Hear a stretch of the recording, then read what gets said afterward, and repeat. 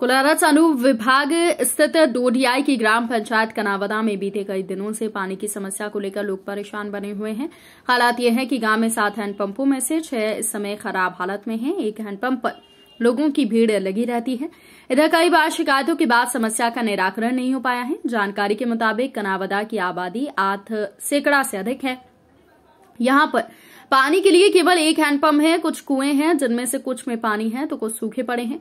ऐसे में हैंडपंप से ही ग्रामीणों को पीने के पानी से लेकर अन्य कार्यों के लिए पानी की उपलब्धता होती है। लेकिन बीते कुछ समय से गाँव के अलग अलग स्थानों पर लगे सात हैंडपंपों में से एक ही चालू है जबकि शेष छह बंद है।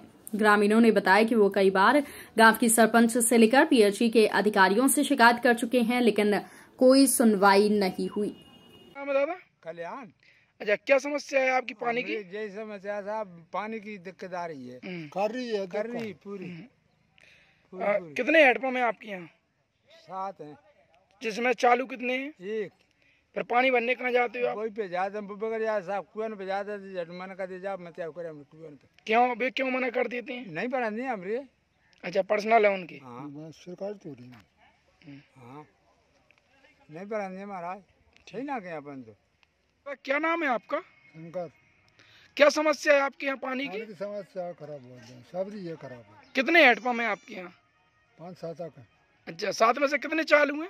एक है नहीं एक है बस स्कूल पास। एक चालू है हाँ, कहाँ से भरना पड़ रहा है आपको पानी अभी? स्कूल पास। स्कूल पे कुआ पास। अच्छा। बगैर जाते का कीच हम्म। कोई जैसे मेहनत बन जाए तो कीच में कौन जाएगा हैं?